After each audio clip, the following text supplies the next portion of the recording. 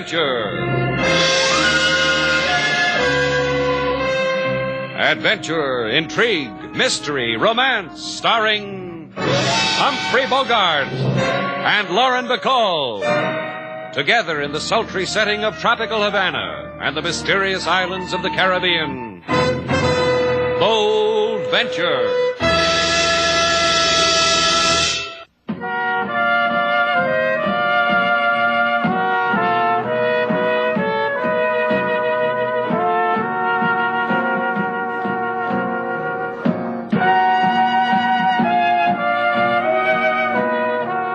Once again, the magic names of Humphrey Bogart and Lauren Bacall bring you Bold Venture and a tale of mystery and intrigue.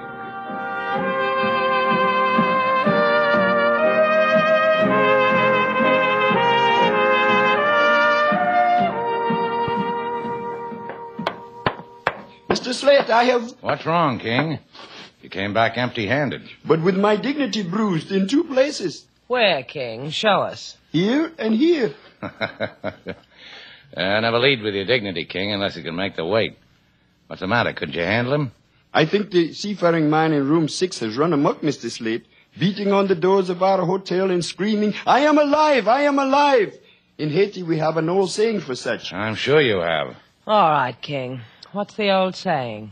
Saying goes so. Seafaring man who run amok in hotel, beating on doors, screaming, I am alive! I am alive! Don't mess with him. Well, that leaves it up to the management. You go throw him out, sailor.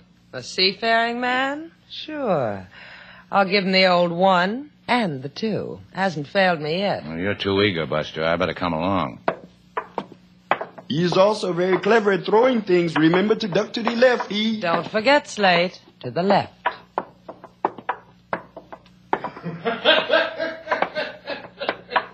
Jolly type, huh? Yeah, let's join the fun. Okay, mate, your happy time's up.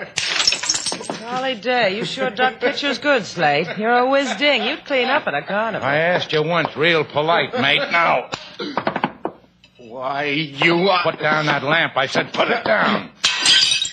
Ah. Now, You did that keen, mate. Now, tell me what you're celebrating. You want to share it, huh? Well, don't get tough. Just come on in and join me in a loud laugh. First, we have to know the joke, mate. Then, if the wind's right, we'll laugh. Well, it's all here in this paper. Go ahead, read it for yourself. Senor Little Abner. I chuckled over this two days ago. It ain't half so funny as the obituary where I'm pointing. Go ahead, read it. Joe Norman, seaman, victim of a hit and run accident, was buried today at sea in accordance with his lifelong wish as a voyager of the oceans.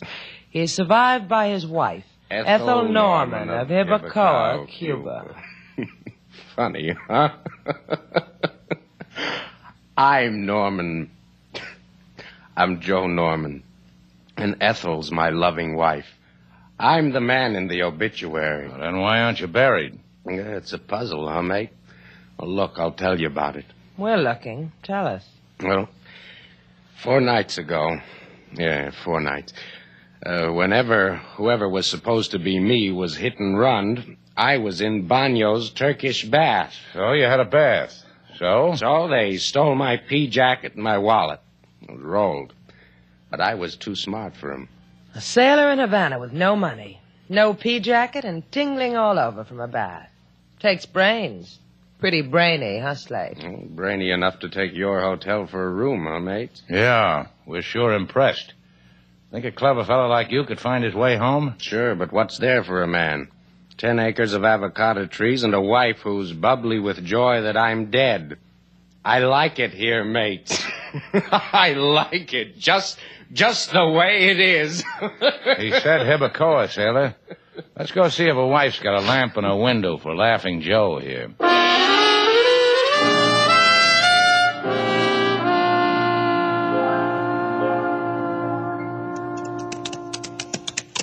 You like riding with me, Gil?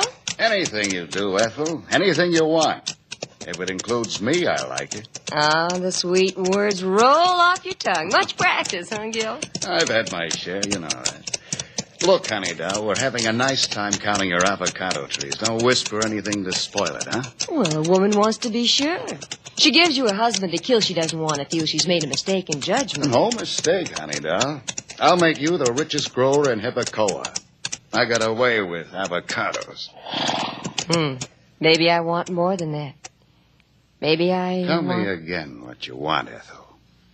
I'll do my best. My motto? Aim to please a woman like you. Just don't get tired of me, Gil. You'll have to please me for the rest of your life. Oh, it's no chore, honey doll. Oh, the shade. Soft wind off the coast. It's a good place to tell me again that everything's all right.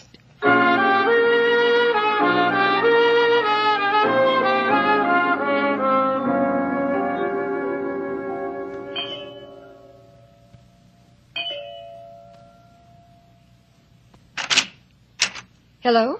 Is there something I can do for you? Oh, would you mind if. Oh, please, please come in, you two. The sun hurts my eyes. Thanks.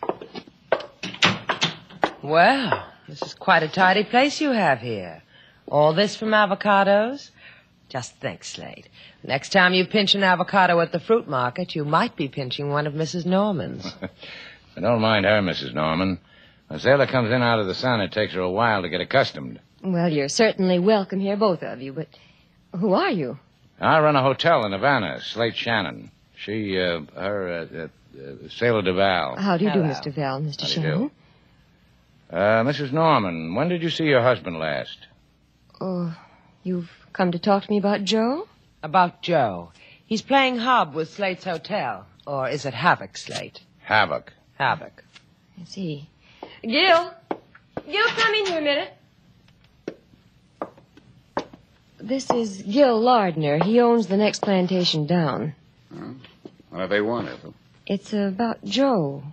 Joe is dead. Everybody knows that. Joe doesn't. He's a man who'd like to know. What are you talking about? We buried him two days ago. I'm sorry, Mrs. Norman, but how sure are you it was your husband who died? Oh, oh, you mean because he was so badly smashed up in the accident? Well, I knew him because it was his wallet they found on him. Joe's. And Joe's pea jacket. It could have been someone else. It wasn't. As soon as Joe would hit port, he'd head for the Banyo baths, Turkish baths. And a receipt from the baths was found in his pocket. Joe's dead. I, I saw him lying there. He was smashed and dead. Go away, please. Please, Gil. You heard her. Get fun out of teasing a widow? Get out of here. Leave her alone.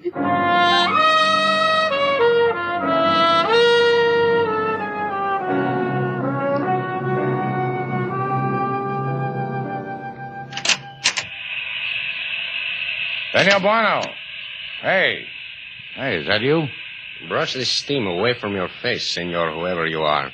It is I. Welcome to the hot baths of Senor Banyo. Grab yourself a hot rock and sit upon it, but gingerly. Tell me something, Bueno. Do you know a man named Joe Norman? Uh, it is chilly in here. A little more cold water on the hot rocks.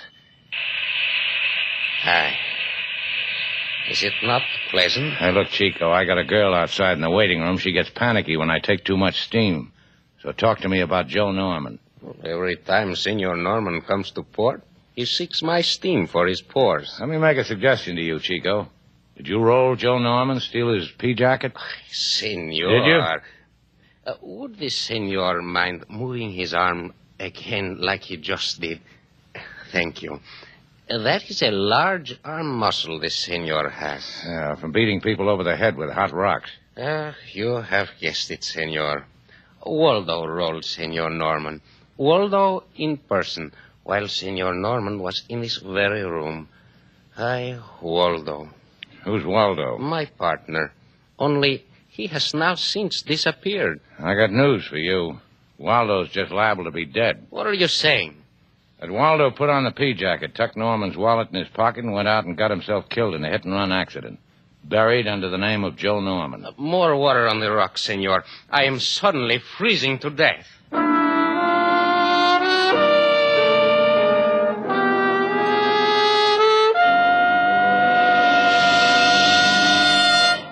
So you come to the police with this fantasy. You do this to warn the cockles and bulls of my heart, Senor Shannon? I do this, LaSalle, because there's something that isn't cricket going on among the avocado trees in Hibacoa. If it also warns the things you mentioned, I'm happy about the whole thing. Tell him about the Turkish bath, Slate. Which reminds me, I've often wondered what goes on in the men's dorms in a Turkish bath. You sit on hot rocks, then what happens? Glad you put the question, sailor. Then what happens is a man named Joe Norman gets rolled of his pea jacket and wallet by a poor steamer named Waldo who evaporates in the thin Havana air. Please, I have told you. The man Joe Norman is dead. Correction, he's laughing his head off in my hotel. The man is dead. He was buried at sea. Correction, he's not dead. He threw a pitcher at me.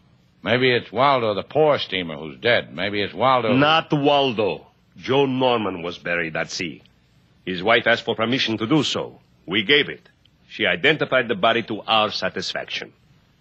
You will go away now and stop tickling me with childish fairy tales. Correction. We go away now, but we bring you back Joe Norman. Come on, sailor. Coming. Bye, LaSalzy. Stay open for another tickle.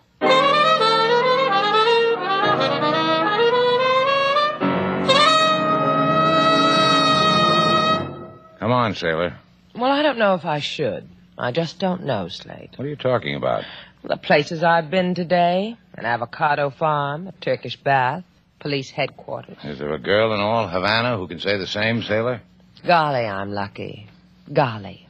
Before we throw that guy in room six out into the street, how about telling me a thing? Certainly. Slate Shannon, I think you are kind, loyal, trustworthy, obedient. Oh, cut it out, will you? Just tell me who registered him. You or King Moses? Me. Get the register. Let's see how he signed his name. He signed it Admiral Perry. What? Only he didn't sign it, I did. He was laughing and happy and had his arms loaded with Come on. Admiral Perry. the one at Lake Champlain, not the one who reached the North Pole. Aren't you going to knock? Hey, look, Buster. Hey, wake up. You're getting out.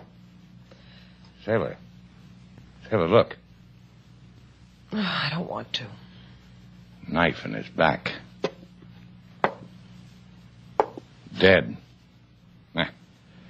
You got a bright remark for the occasion, sailor?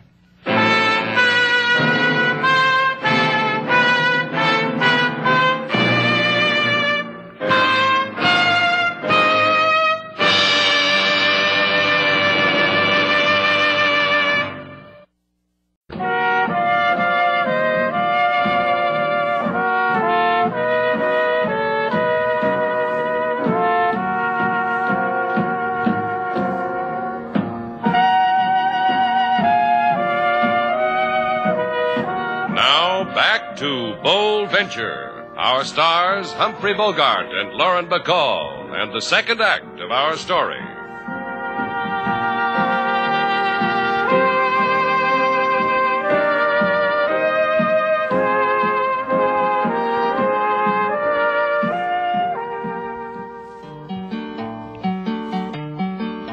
To Shannon's place come a seafaring man. Funny kind of face, done in weather-beaten tan. Kept on laughing cause he wasn't dead, till knife in back pinned him to his bed.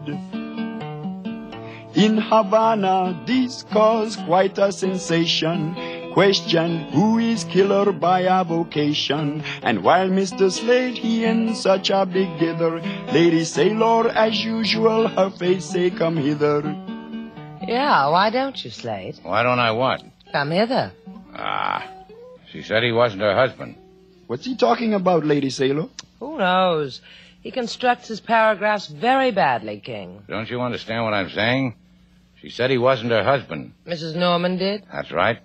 I was at the morgue when LaSalle brought her in. She looked at the sailor who was stabbed in room six. All she did was shake her head no. Well, that's what I would do if a man weren't my husband. Me too. And Bueno, the boy who owns the Turkish baths, says he wasn't sure whether the man was Joe Norman or not. How can that be possible? Many things are possible, Mr. Slate, or impossible, according to which team you're on. According to how you are feeling at the moment when a situation arises, which could be possible or impossible, according to. You tell him, big boy. You didn't let me finish. You're finished, King. You too, sailor. Go on, get out of here, both of you. You going to do it again, Slate? You going to try to figure this out in your mind? You heard what I said. Out.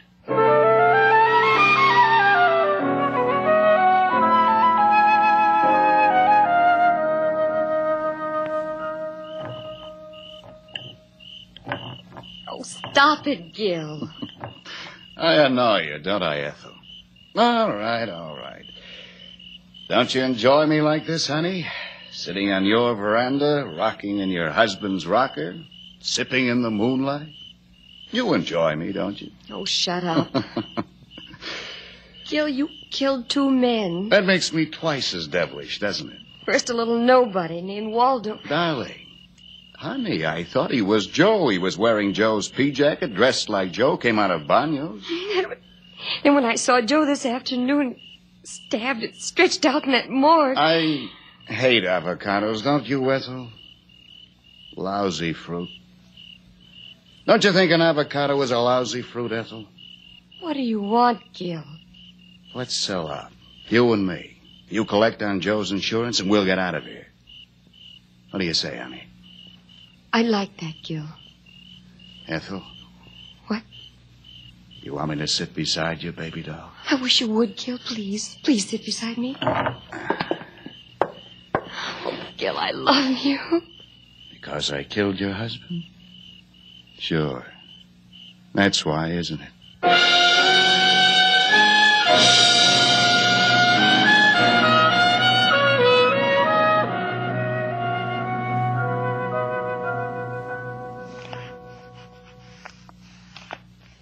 You figured it, and you're going to let the cops handle it. And you're comfortable, huh, Slate? That's a nifty idea you had, sailor. Bring the ironing board out to the patio so you can press my shirt in comfort. So I look dapper when I go calling on Mrs. Norman. You get one avocado stain on it, so help me, and I'll make salad out of you. I'll Hey, hey, watch the shirt front, sailor. You're burning it. singed midriff. It's the latest thing. You'll be the doll of the. Uh... Senor Slate Shannon? Hey, hand me that shirt, sailor. Come off it, Slate. The lady's seen gentlemen in strapless T-shirts before, haven't you, lady? I see, but never a gentleman with such skin you love to touch shoulders. However, to business. My card. I've had the sun in my eyes. You read it to me, lady. It says Lolita Nueva, insurance investigator. Available at all hours. Hmm, says all that, huh? I don't carry much insurance, Lolita, but I bet I could dig up some for you to investigate. Hey, sailor, you're burning that collar. Ha ha ha! Your laundress, she's loco, no? She's crazy, no? Yeah, I get my work done cheaper that way. Let's go somewhere and investigate. Hmm, Lolita? Ah, ah. You will investigate, Senor Shannon, alone. Let us say for 2% of a $100,000. Now, look, honey, you go over there and stand next to the crazy laundress, huh? Two percent of a hundred grand. That's two thousand dollars, Slate.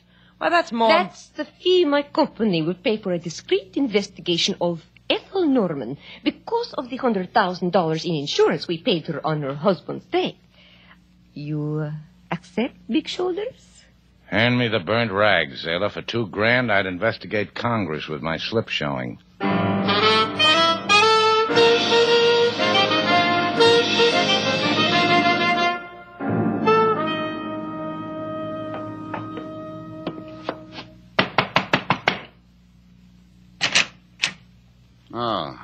It's you again, Shannon. Looking for a buy in avocado? I want to talk to Mrs. Norman. I. What about? You can tell me. I run things for her while she sleeps. That's a nice arrangement. I like it. She likes it. All the time husband Joe was at sea, sending in the paychecks to buy the seeds for more avocado trees to retire on. All that time, I brought the sunshine into Ethel's life. Now you know. Joe know about all this? Ethel and me? Well, we didn't want to worry him with it while he toiled. I was going to tell him, though, when he got back. Poor guy. Run over. Killed. All before I could get to him with the story of his life. It's time for me to go wake Ethel. You won't mind, huh? I'll wait for her. No, you won't, Long Nose. The gun pointing at your collar button says you won't. Yeah. Mm-hmm. Yeah, it sure says that all right. Bye, pal. Nice avocados you raise here.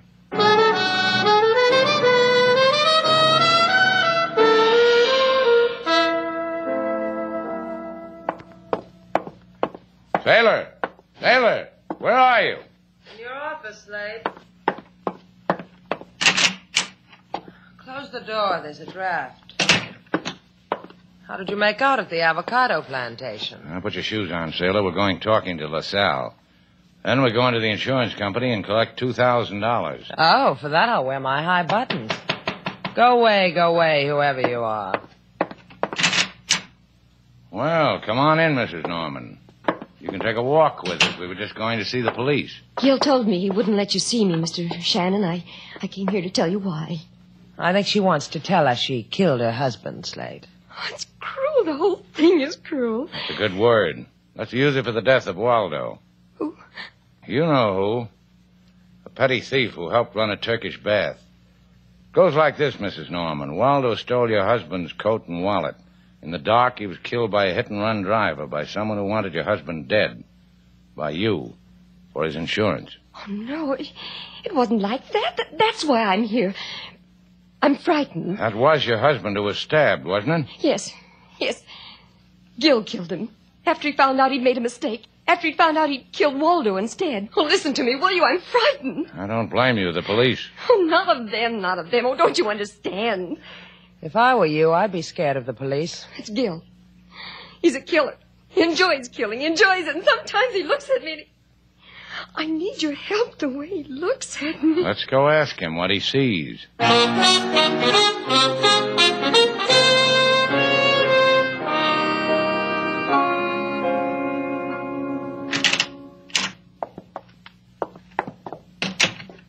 that you, Ethel? Gil, If you look up from that paper, Gil, you'll notice company.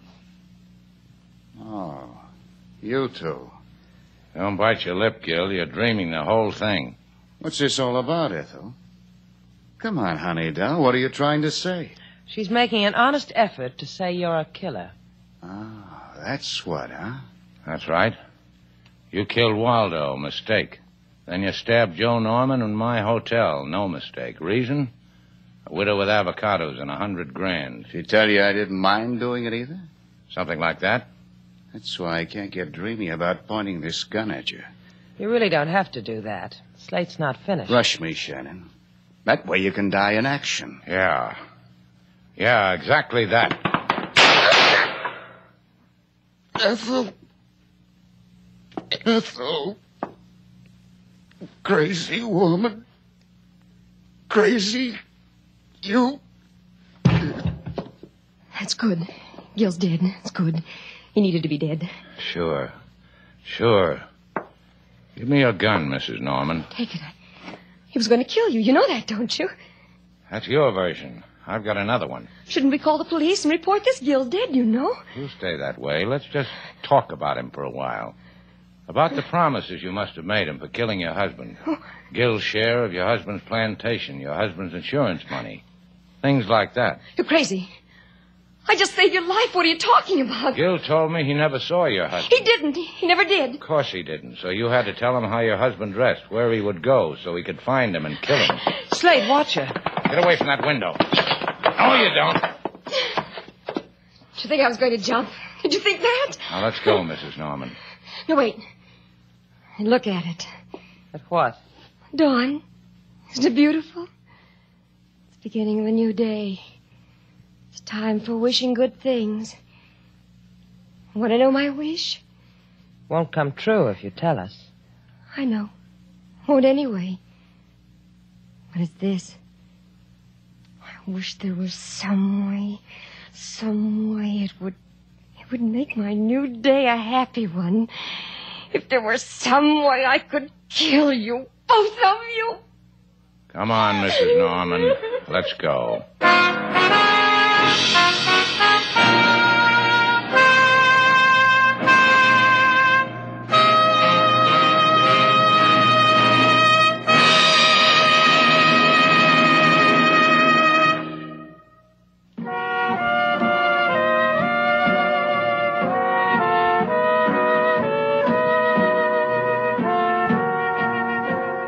Two thousand dollars, sailor. Look at it. We going to run barefoot through it, Slate? Uh-uh. We're just gonna count it and count it and count it. That's why you made the insurance company pay off one dollar bills, huh? Well, you better let me have a bucketful of it. Take a handful, sailor. What do you need a bucketful for? The butcher, the baker, the candlestick maker. I got the list right here. Let's see. Hmm, $1,996. How many candlesticks did you buy? What are you screaming about? You've got four dollars you've never had before. Hmm, Go ahead, take the four bucks, too. I'm, I'm happier when I'm broke. Carefree, happy, devil may care. Vagrant as the trade wind. Come here, Vagrant. Did you like that? Spiffy and smooth. And how was that one, Vagrant? Vagrant, huh? Come here. Oh, I just found a home.